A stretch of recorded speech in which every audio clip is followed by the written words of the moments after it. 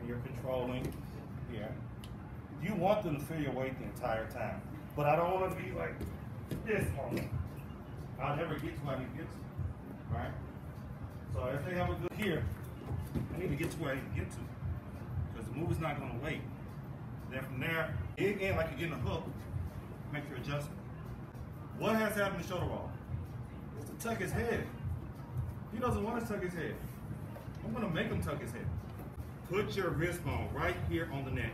So your palm is literally right there by his ear. Here, feet. This makes it tighter. That tucks him. So now when I have a seat, he's here. Don't let him sit on top of you. Push him away. Swim.